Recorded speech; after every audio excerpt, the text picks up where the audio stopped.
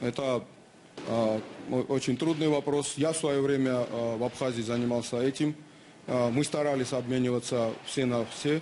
А потом в 2008 году также, к э, сожалению, отношение к пленным, был- пленным а, было очень плохое. Многих просто расстреляли. Тех, которые, которые были запечатлены на кадрах журналистов, их потом не стало. Но мы постарались объединять э, всех на всех. Я хочу- Георгий, а, бы- извините, э, а были ли случаи выкупа пленных Грузии своих? И, и стоит ли прибегать к такой практике? Ну, э, спасать своих нужно любым путем. Но э, такой практики у нас не было.